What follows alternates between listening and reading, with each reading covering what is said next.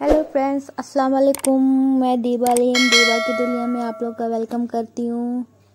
आज मैं बनाने जा रही हूँ दही बड़े तो स्टार्ट करते हैं अपनी रेसिपी और अगर आप मेरे चैनल पर नए आए तो प्लीज़ मेरे चैनल को सब्सक्राइब ज़रूर करें।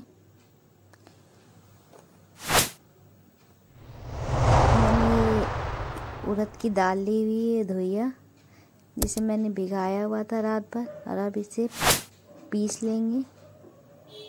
बहुत कम हल्का सा पानी डाल के पीसेंगे, गीला नहीं पीसना हमें। ये पीस चुका है तो इसमें नमक डालेंगे। इधर दही रखी हुई हमने तो दही में भी नमक डाल लेते हैं।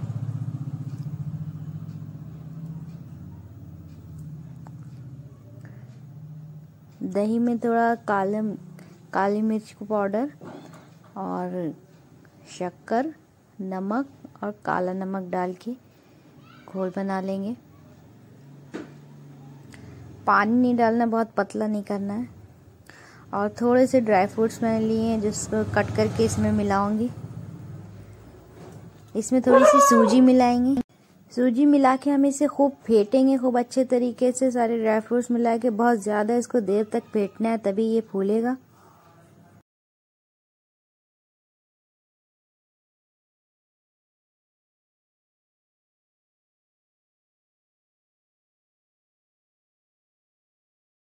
अब ये फट चुका है तो हम इसे तल लेते हैं रिफाइंड ऑयल में।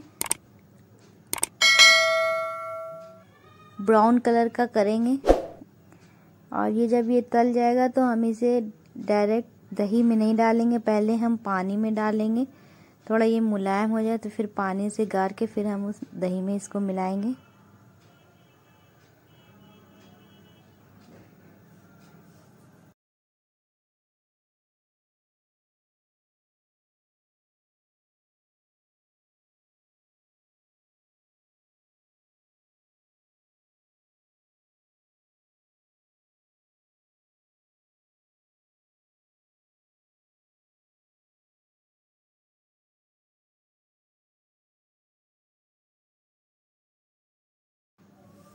इसी तरह जितने भी हैं, सब हम जो है फ्राई कर लेंगे एक एक करके। ये देखिए, दही में मिला लेंगे।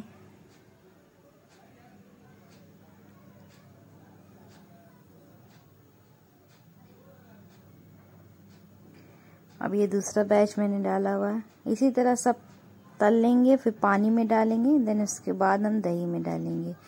और फिर जब ये बन जाए, उसके बाद इमली की चटनी और ज़ीरा मिर्चा भून करके, पीस करके फिर इसके ऊपर डालेंगे और इसे सर्व करेंगे। देखिए हमारा दही बड़े बन चुके बहुत ही टेस्टी बने बहुत ही अच्छे लगते हैं। आप लोग इसे ज़रूर से ट्राई करिएगा और मेरे चैनल को सब्सक्राइब करिएगा लाइक करिएगा और शेयर करिएगा। और मुझे इंस्टाग्राम पे भी फॉलो करिएगा। लिंक मेरे डिस्क्रिप्शन में है।